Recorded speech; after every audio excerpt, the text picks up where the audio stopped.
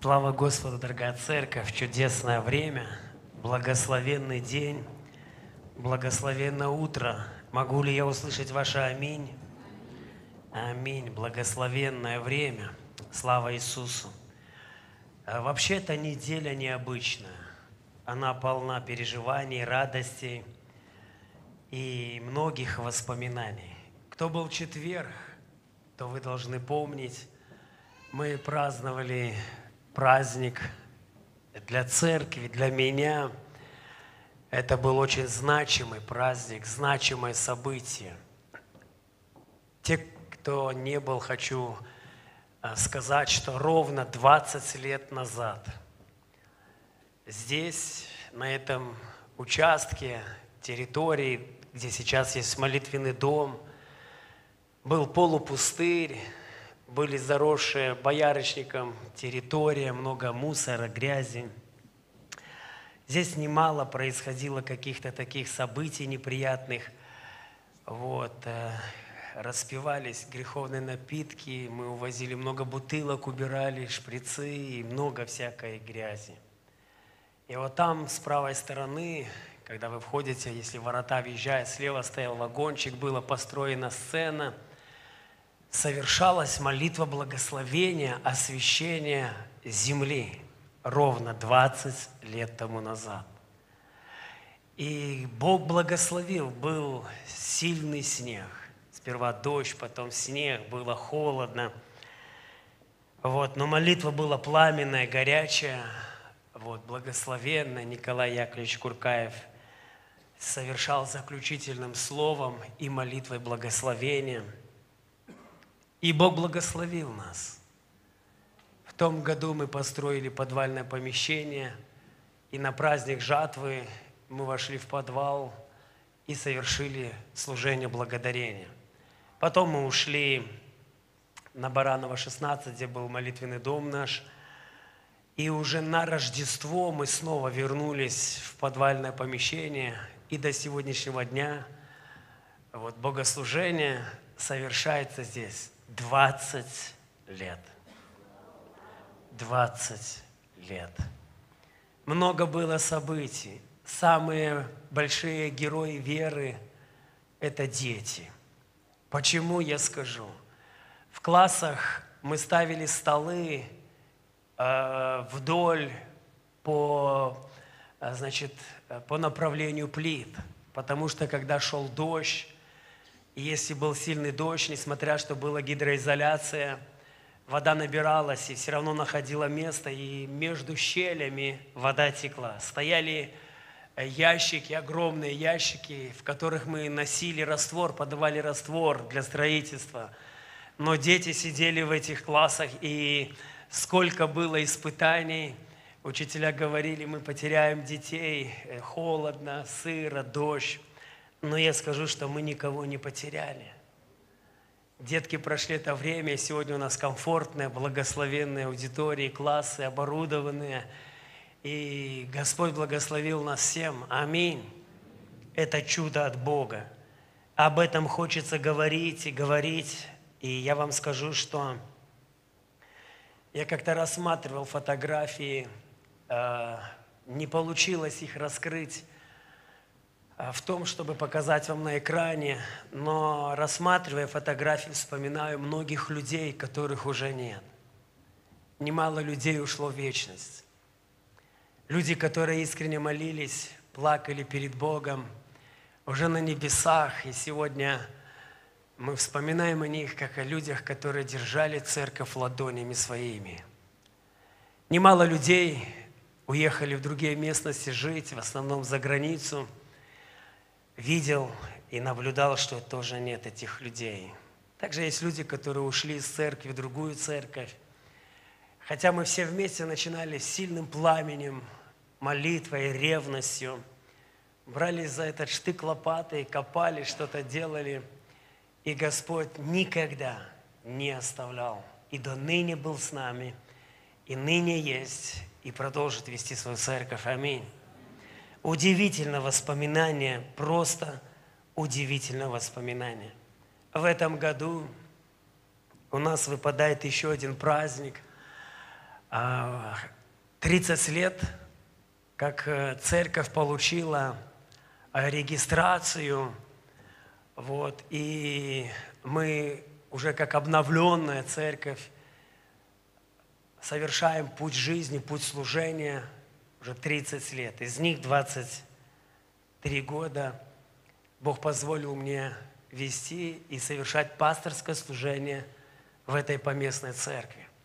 Вообще изначально, изначально первая церковь христиан веры евангельской в городе Барановичи – это наша поместная церковь. Было одно разделение, где отделились баптистского направления. Потом группа людей, которая ушла, и большая часть – это церковь спасения, которая построилась. Новая жизнь, эта церковь была основана из служения Стивен Хилла, там Бубнов Александр, Юра Сидор, Михаил Кабушка, который теперь пастор, они проводили евангелизационное служение. И мы остались вот так, как оно есть. Небольшая группа людей была сохранена. Рассматривались разные варианты, чтобы люди ушли, кто выберет в какую церковь. Но были братья. Один из них Михаил Иванович, который говорил, нет, мы не будем закрывать церковь. Мы будем продолжать молиться – мы будем просить Бога, чтобы Бог благословил. И благодаря буквально нескольким братьям и сестрам, которые не соглашались с закрытием церкви, но так боролись еще несколько лет, и Вячеслав Иванович пришел с группой молодых людей около года, совершал служение, потом он усмотрел, чтобы доверить это мне, нам, и мы вместе продолжили, и Господь умножил нас, за что слава Богу. Мы были испытываемы не раз и не два. Бури и волны, ветры, испытания поднимались очень часто.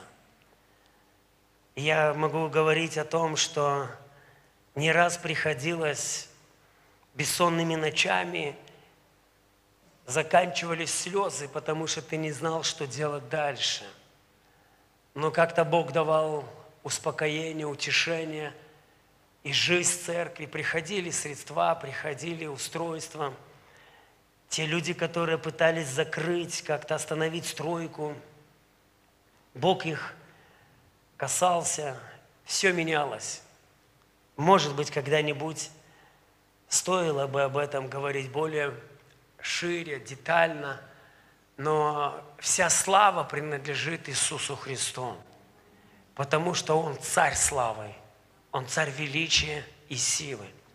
Я в четверг напоминал, что мы хотели в это воскресенье остаться членами церкви, провести небольшое общение, беседуя с нашим главе, главным епископом, первым заместителем Сергеем Сергеевичем, было решено перенести эту встречу после пасхальное – одно из воскресных служений, где он сам лично будет присутствовать.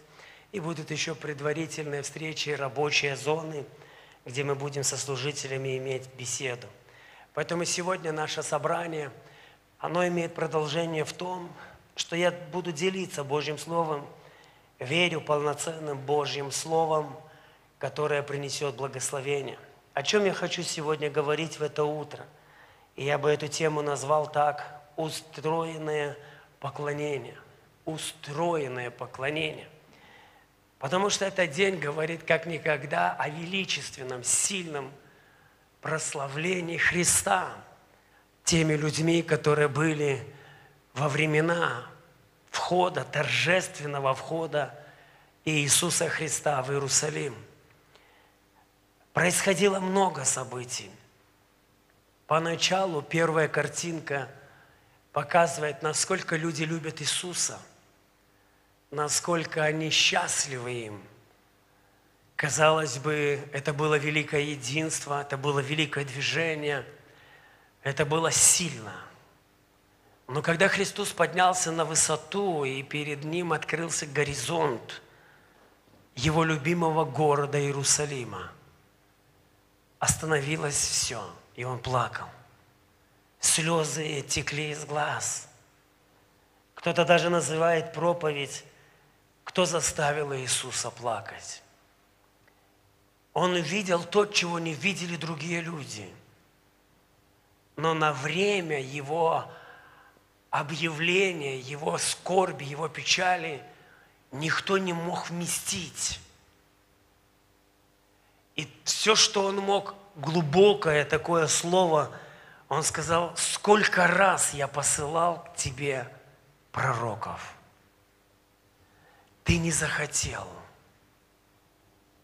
Слово Божие говорит, не узнал день посещения моего. Очень важно понять, что то, что в моей жизни происходит, какой-то толчок вперед или остановка, или какое-то другое движение, распознать, кто это созидает, от кого это приходит, для чего.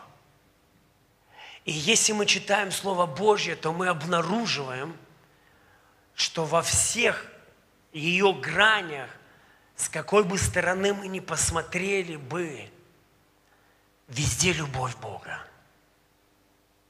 Везде. Потому что Бог любит человека, и изначально Он сказал, не хочет смерти грешника, но чтобы все спаслись и достигли, достигли познания истины.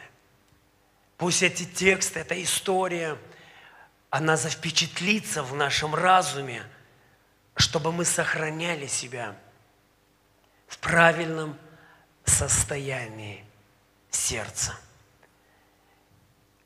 Я хочу поговорить о устроенном поклонении.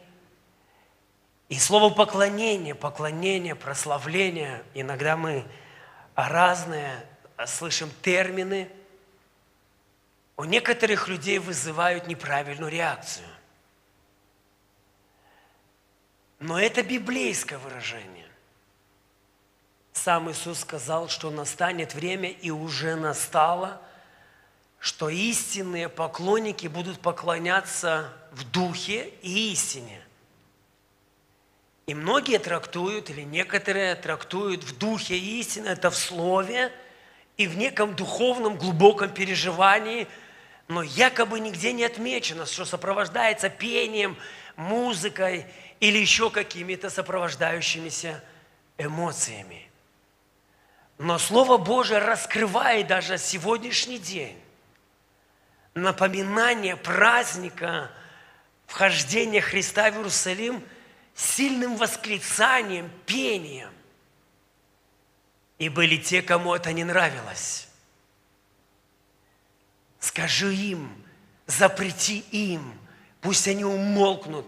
У нас звенит в ушах, мы не можем с этим согласиться.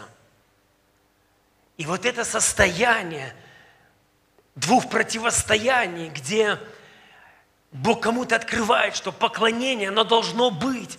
Оно ценно в глазах Бога. Оно необходимая часть жизни церкви.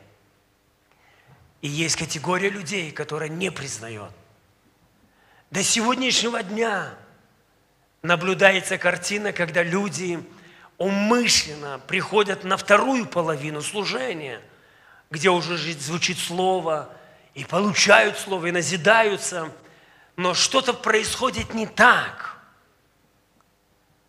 потому что невозможно однобоким быть в присутствии Бога или следовать своим личным пониманиям. Устроить – это значит наладить, сделать правильно, совершить так, как это должно быть в глазах Бога. Это порядок. Это то, что ценно Ему – вы знаете, в Псалме 8-3 стихом написано «Из уст младенцев и грудных детей ты» с большой буквы. Автор этого псалма говорит «Ты устроил хвалу ради врагов твоих, дабы сделать безмолвным врага и мстителя». Итак, я хочу, чтобы, почему нет текста 8 псалом, чтобы люди следили, третий стих – Автор говорит, что именно ты устроил. И в эту хвалу, в это поклонение Бог вводит детей, грудных младенцев, всех. И одна из целей, о которой мы здесь читаем, ради врагов твоих, дабы сделать безмолвным врага и мстителя. Это не просто мои глубокие переживания и отношения с Богом. Он и я – это мои отношения с Ним. Мое поклонение, поклонение церкви делает безмолвным врага. Оно обезоруживает врага. Враг, о котором мы говорим, это не люди. Но люди часто оказываются под его воздействием, не понимая глубины Божьих истин. Поэтому среди людей нет врагов. Потому что человек создан по образу и подобию Бога. И только лишь грех исказил его внутреннюю природу. И поэтому очень важно устремляться к познанию истины. И познание истины, поклонение, она должна открыться всем верующим людям. В ней есть сила. Настоящая хвала, она должна быть устроенная. Много репетиций, подготовок, много работы производится для того, чтобы устроить хвалу пред Господом. Когда-то Господь, мы читаем, устраивал хвалу, Он, Он производит действие вдохновения, и все это Он делает Духом Святым. Поэтому цель Христа – наполнить нас такой радостью и силой, чтобы поклонение вытекало из моего состояния сердца, а не какой-то формы, обряда или порядка. Это должно выходить из состояния сердца. У нас в братстве есть церкви, сильные церкви, тысячная церковь. До сегодняшнего дня не допускается ни один музыкальный инструмент. Но поются псалмы. Народ начинает петь, и в поклонении приходит сильное движение Духа Божьего, потому что так понимаю, такая обрядность, вот передавалась это от поколения в поколение и каким-то образом сохраняется. Но это поклонение, то, что происходит изнутри. Есть времена, когда эмоций море, а движения жизни нет. Поэтому Иисус, Он учит нас, и очень важно понять, что поклонение, вдохновленное Богом – оно закрывает уста всем врагам, всем богохульникам. Сегодня люди борются, даже целые войны устраиваются, чтобы поднять свое имя так высоко, чтобы чем больше людей хвалили меня. Это было во времена первой церкви Ирод, Нерон, другие цари – это было в Ветхом Завете, фараон, заря утренняя, и все поклоняйтесь мне. Это были цари Вавилона, они искали поклонение себе. Людей сжигали, убивали, кидали на арены за то, что они отказывались признавать их божество, которым они никогда не могли им явиться. Это невозможно. Если люди не избирали людей, тогда люди из-за затуманности ума избирали деревья, избирали какие-то э, э, верха гор и совершали поклонение. И мы читаем это, что он вырубил священные дерева, которым ходил Израиль поклоняться, потому что поклоняться нужно только Господу, аллилуйя. И враг он хочет увлечь человека от любой главной цели, кому хочешь, но не Христу. Потому что сила поклонения – это сила перед Ним.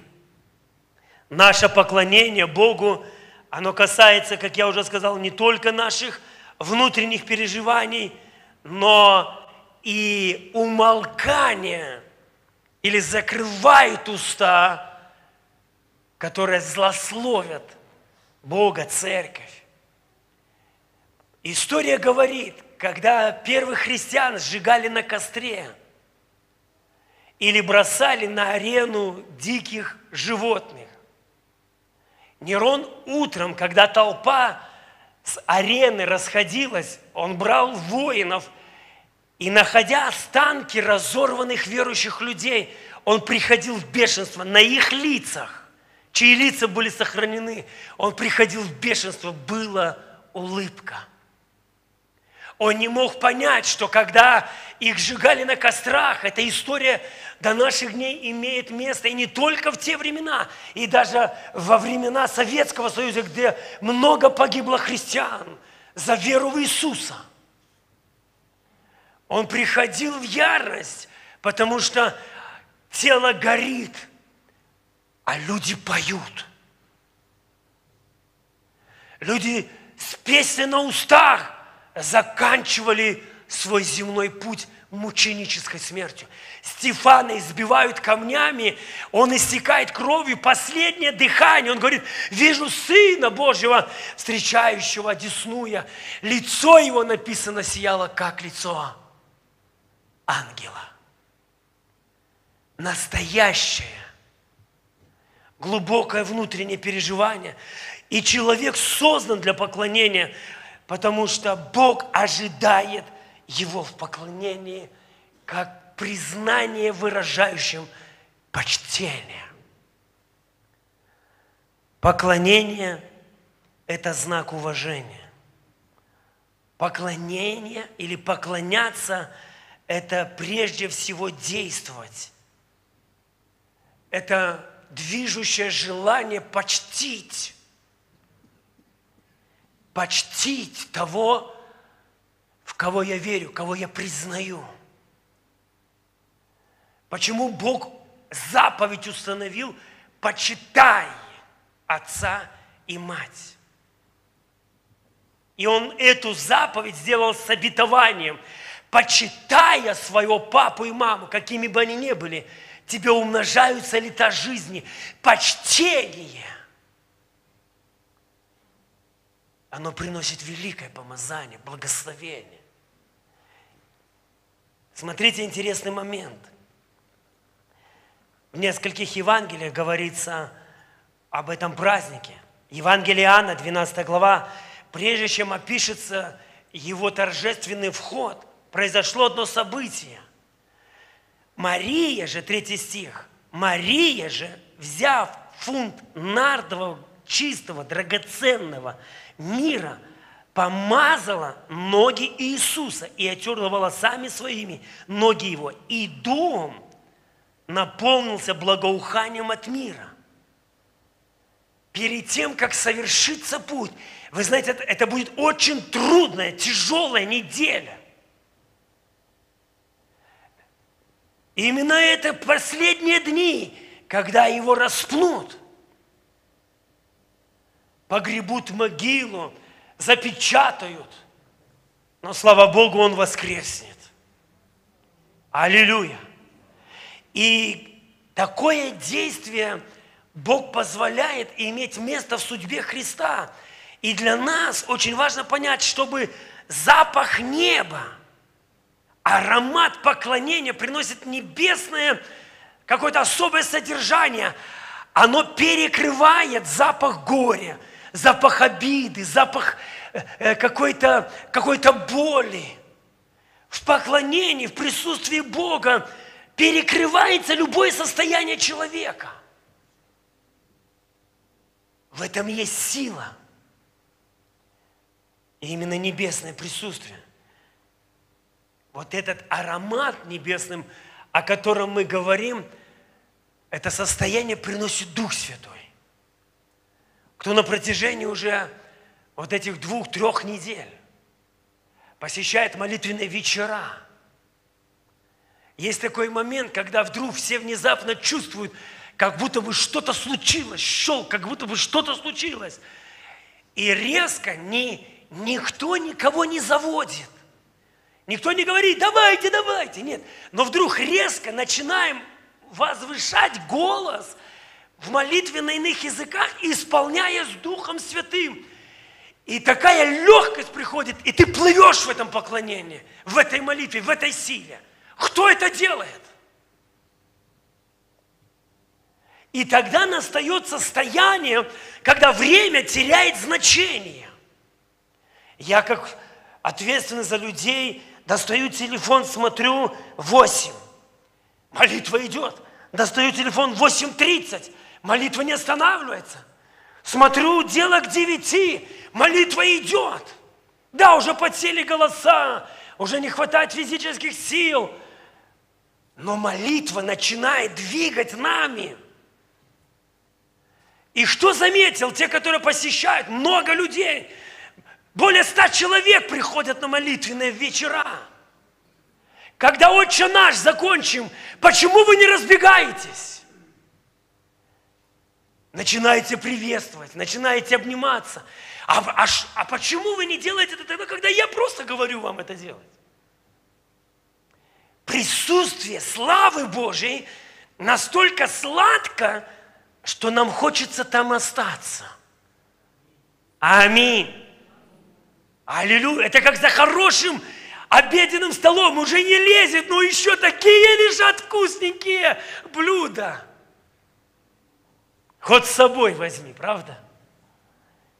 Поклонение. Писание говорит, мы храм Его. Другими словами, мы дом Его. Разве вы не слышали, не знаете, что вы храм Божий, и Дух Божий живет внутри вас? Я хочу, чтобы мы слушали все, кто понимает, не понимает, признает, не признает. Это учение Иисуса. Это евангельское учение, то, о чем я сейчас в это утро делюсь. Первое послание Коринфянам, 6 глава, 19-20 стих. «Не знаете ли, что тела ваши – суть храм живущего в вас Святого Духа, которого имеете вы от Бога, и вы не свои?» Ибо вы куплены дорогой ценой, посему прославляйте Бога и в телах ваших, и в душах ваших, которые суть Божьи. Смотрите, Дух Святой помогает сознательно отказаться от прежней греховной жизни. Потому что истина освящает мое тело, моя душа, мой дух – это дом Божий, это храм Божий. До отказа от греховной жизни, кто в моем доме жил? Давайте поговорим. Сигаретка, власть курения, 100 грамм алкоголя, иногда и не 100, власть алкоголя, прелюбодеяние, похоть очей, многие другие греховные вещи. Где они жили, где они были, скажите? в этом доме. Они владели человеком. И когда пришло Духом Святым спасение, я осознал, что я не хочу предоставить свой дом для греха, для дьявола, для его слуг. Я что делаю? Я сознательно – я отказываюсь от тебя, дух алкоголя, блуда, курева и всякого греховного духа, духа нечистого. Убирайся вон из моей жизни. Я предоставляю свою жизнь кому? Иисусу. И Христос вошел в мою жизнь. И я на утро свеж. Я побрит, я опрятен. Я каждый день храню свое тело красивым, чистым, чтобы Иисусу было хорошо. Аллилуйя! Аминь или нет? И поэтому я поклоняюсь Богу своим храмом, своим сердцем и тем, чем наполнен я. И Павел говорит, вы что не знаете, что тела ваши, суть храм живущего в вас, Святого Духа. Поклоняйтесь и в душах ваших, которые суть Божья. Поэтому очень важно, сознательно, вот это, это решение твое, я никого не заставляю. Человек не может заставить человека изменить жизнь. Все, что мы говорим, мы свидетельствуем, мы проповедуем, мы говорим. Слушай, есть другая жизнь, когда ты встаешь рано утром, и ты смотришь в окно, и ты говоришь, Боже, слава тебе за этот день, а не мысль, где бы взять еще греха какого-то, и еще какого-то беззакония. Когда ты встречаешься, будучи во Христе, Давайте мы посмотрим, о чем мы говорим. Какая была молитва, какой было слышь. Слушай, в этой проповеди Бог ответил мне, когда мы были до Христа, мы встречались, о чем говорили? Ух, вчера мы целый ящик на троих влупили. Ух, вчера мы порезвили, что даже не помню, кто меня домой привез. Ух, вчера. И люди говорят о чем? О том, чем они жили, чем они были наполнены. Когда мы получили освобождение, мы не хвалимся беззакониями, но мы хвалимся Иисусом. Аминь или нет? А хвалящийся хвались чем? Богом. Им. Поэтому это происходит личное твое решение. И люди иногда не могут победить только по одной причине. Дьявол дает такую мысль, неужели я могу жить не выпивая? Неужели я могу жить не курить? Неужели я могу жить не обманывая? Неужели я могу жить не греша, там, похотью, еще каким-то грехом? Я скажу, не просто можешь, это настоящая жизнь. Это то, что Бог дает даром любому человеку. Поклонение обезоруживает грехи, которые когда-то владели нами. Аллилуйя. Потому что ты говоришь, я славлю Бога, который во мне. Ты не славишь грех. Ты не восхищаешься, как ты провел вечеринку. Ты восхищаешься, как Бог посетил тебя в молитве. Аллилуйя. Еще что хочу, один пример. В 18 веке в Германии был король Пруссии, Фридрих Великий. Это не наши Фридрихи, однофамильцы.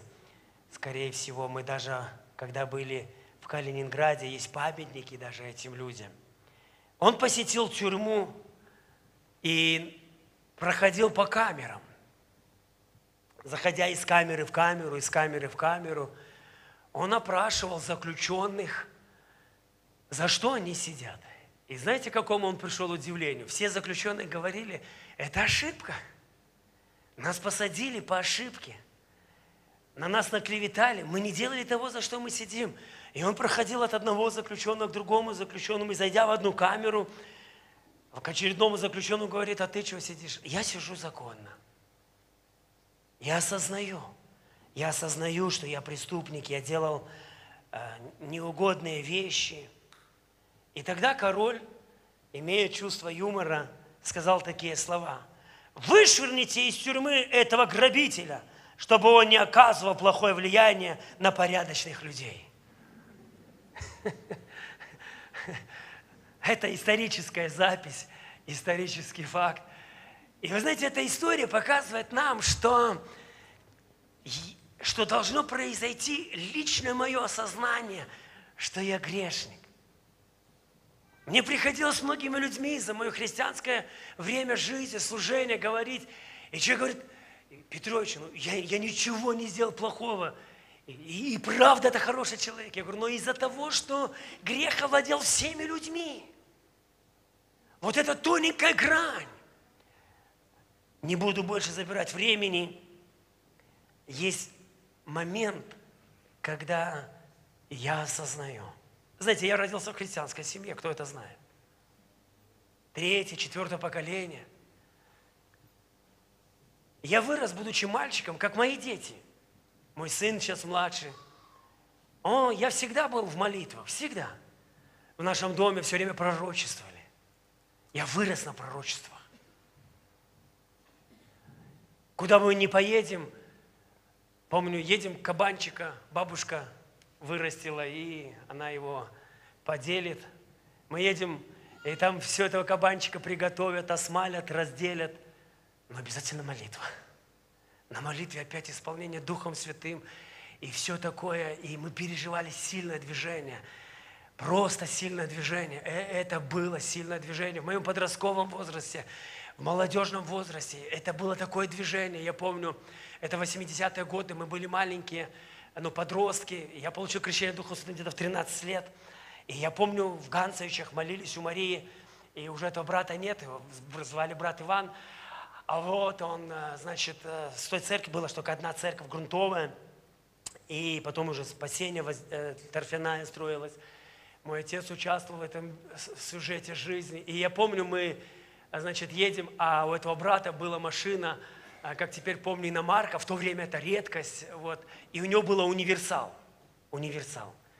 Вот. И какой бы ни был у тебя универсал, машина легковая имеет 5 сидячих мест. У него было 12 или 14 подростков.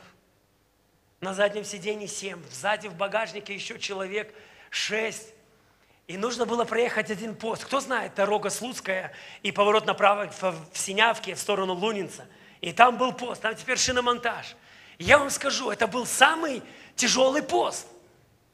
Его проехать просто, чтобы тебя не остановили, было невозможно. И вот в то время, когда мы были на молитве у сестры Марии, ее назвали Маня Франкова, Бог Духом Святым покрестил нас, подростков, молодежь там, в основном были подростки. Мы настолько исполнились Святого Духа, что уже было где-то 12 часов ночи, час ночи, и братья, которые там присутствовали, аминь, аминь. А мы не можем остановиться молиться. И нас завели в машину. Кого в багажник, забросили. Почти как мешок с огурцами. Итак, мы сели в машину, едем, и все молятся на языках. Это свидетельство вы услышите на небе. Бог вам его обязательно расскажет. Я вам скажу. Это было удивительное время. Оно сейчас возрождается в нашей церкви. Аллилуйя! И вы знаете, подъезжая к Синявке, этот брат говорит, прекратите, замолчите, замолчите. А у него были стекла темные. Замолчите, нам нужно проехать. Как заставить ребенка молчать, который молится на иных языках, исполнившись Святого Духа? Бог мне свидетель. Вот мы, он подъезжает к этому перекрестку, включает левый поворот, и выходит этот с, палочкой полосатой, весь в мандировании, два часа ночи, показывает жестом вправо остановиться. Он замолчите. А все, аллилуйя. Он опускает дверь. Этот милиционер подходит, наклоняется и говорит, доброй, доброй ночи, ваши документы, а из машины на иных языках. Братья и сестры, э, я говорю, как это было. И он так, этот милиционер, как-то за, застопорился и спрашивает у этого брата Вани, иностранцев везешь? Ну, он кивнул головой говорит, езжайте. И мы так проехали. И так было не раз. Потому что если Бог делает, Он делает весьма хорошо, аллилуйя. Таких чудес было много. Поклонение – это твое внутреннее состояние. Притча 28 глава 13 стих. Скрывающий свои преступления не будет иметь успеха. А кто сознается и оставляет их, тот будет помилован. Аминь. Кто осознает, если ты скрываешь? Знаете, с чего начинается любое пробуждение? В 1978 году я получил исцеление на грунтовой. Служения шли сутками. Были люди, которые были взяты в удел Духом Божьим настолько, что они начинали с утра, с 9 до вечера, просто стояли почти на одном месте и пророчествовали всем, кто не подходил. С рабочих мест люди бежали в церковь, с церкви, молясь утром, люди бежали на работу – Еще есть и очевидцы, которые живы. Это движение духа. Понимаете? И началось это с того, что начали исповедоваться все, исповедоваться, служитель, ты не служитель, пастор, диакон. Люди открывали свое сердце, исповедовались, каялись. И присутствие Бога было великим. А что думаете, так просто заполнилась та церковь? Так просто мы заполнились людьми спасенными – без Бога это возможно? Это действие Святого Духа. Аллилуйя. И даже сейчас, когда мы переживаем эти вещи, Дух Святой всегда говорит, раскрывайте свое состояние, совершайте покаяние, очищайтесь. Время обновления, время очищения, время, когда Бог хочет что-то делать великое, и Он делает. Богу не нужно насильственное поклонение – когда мы можем как-то надавить, давайте, ты обязан, ты должен. Ему нужны искренние люди, которые понимают, что они поклоняются невыдуманному какому-то Богу, несуществующему Богу, а живому, прощающему грехи и делающим из каменного сердца плотяное. Аллилуйя. Когда-то апостол Павел пришел в Ефес, там памятников столько стояло много. Памятник такому Богу, памятник такому, такому Богу. Он идет и за голову берется, Боже мой, сколько ж тут божества. И потом читает, памятник неведомому Богу. Павел был мудр, исполнен Духа Святого. И Ефеская, весь народ в Ефесе, они так хотели всем богам угодить, что они поклонялись просто всем богам, знали о них, не знали, и даже сделали такой жертвенник неведомому Богу. Павел встал, и люди собрались, думают, что это за интересный человек. И он говорит, вот я у вас, дорогие Ефесы, обнаружил, вы построили памятник неведомому Богу. Вы его не знаете? Ну нет, не знаю. А что, есть еще какой-то Бог? Да, я знаю этого Бога. И Павел начал проповедовать Иисуса Христа распятого. Аллилуйя. Слава Богу. Может, где-то я не освежал в памяти более детально эту мысль, но основное сердце я передал. Поэтому Господь дает нам время, дает нам время, когда у нас выражается внутреннее состояние поклонения. еще несколько мыслей буквально, и мы будем молиться – когда мы, кто любит ходить в галерею, где красивые картины, вот. Мне, я, я не любитель галерей, но когда я побыл в, э, в музее Билли Грэма, и я посмотрел те картины, конечно, они меня восхитили. Вот. А, мы были в Петродворце, это Петр Первый построил вот это красивое там, э, где фонтаны из фонтанов вытекают, там, ну, потрясающее зрелище. Кто ездил в Евангельский Петербург, с нашей церкви мы брали автобус. Может быть, снова возобновим поездку. Будем видеть, как Господь устроит жизнь. Или, допустим, есть прекрасная музыка. И знаете, когда ты смотришь картину или слушаешь прекрасную какое-то стихотворение, поэму э, или прекрасную музыку, что появляется у человека, какой вопрос?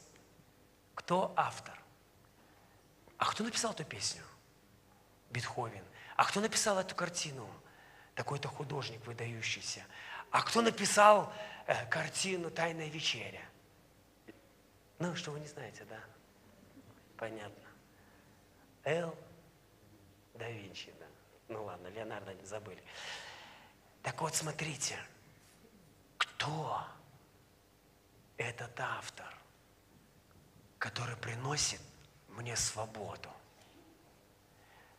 который дал мне новое сердце, который который воодушевил меня. И мы понимаем, это Бог. Бог, которому я поклоняюсь. Бог, которому я служу. Аллилуйя. Знаете, когда-то Ездра читал Божий закон, Неемия, 9 глава, 6 стих. Ты, Господи, един. Ты создал небо, небеса небес, и все воинство их, землю, и все, что на ней, моря, и все, что в них. И ты живешь все, все сие и небесное воинство тебе поклоняются. Знаете, как авторы писали Ветхого Завета, они когда видят красивые реки, красивую природу, они говорят, кто автор этой красоты? Это Бог. Когда мы смотрим на церковь, кто автор? Кто создал церковь? Это Бог. Я хочу быть его частью. Я хочу поклоняться тому Богу, кто придумал такие красивые горы, прекрасным сотворил солнце, прекрасным сотворил небо, землю. Автор – Бог. Внутри тебя рождается глубокое поклонение. И я хочу попросить нас всех подняться для молитвы. Я говорил о том, что мы помолимся, обязательно помолимся в присутствии Святого Духа – и вы знаете, есть очень сильное действие, Божье действие, такое мощное, которое описывается в книге Откровения, 8 главе. В книге Откровения, 8 главе.